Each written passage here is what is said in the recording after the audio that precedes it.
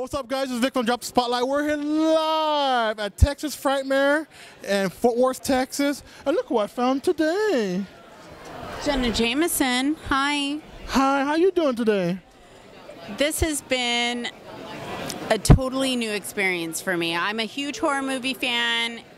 I've never been to one of these before, so uh, it's uh, fun and cathartic, all in one. Yeah. Oh yes, and this is uh, our first Frightmare as well, and it's just been packed to the max. So many people. What do you like most about the fans today? Well, I mean, obviously Texas, it's a different breed of people. They're they're lovely and they're also very they're kind. You know, they're very kind. I, I really like that all the boys call me ma'am. you know what I'm saying? Yeah. I'm telling you, it's just it's amazing. Yeehaw!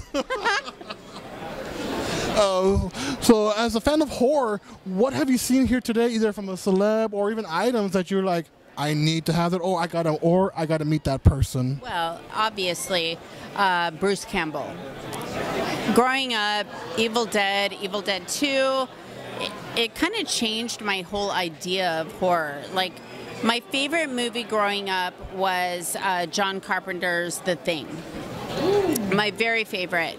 Um, it, it scared me and it put me onto horror. But then I saw Evil Dead 2. I started with Evil Dead 2 and it was just a whole different genre. You know, it, it was that campy but still scary feeling.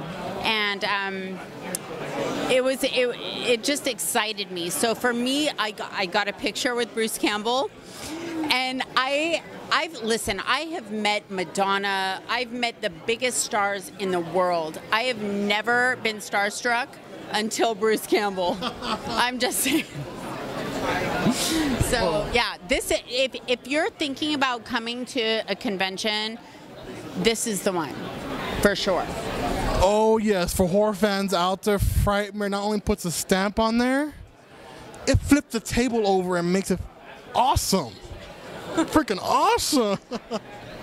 so, uh, Jenna, last question. Um, uh, do you see yourself doing any more projects currently in the future, maybe horror related that the fans could know?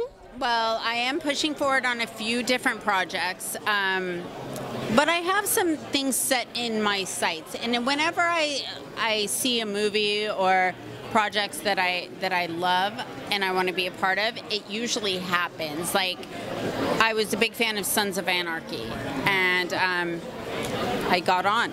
So I'm hoping to be a part of some big things this next coming year. So I can't really say, but keep your eyes open.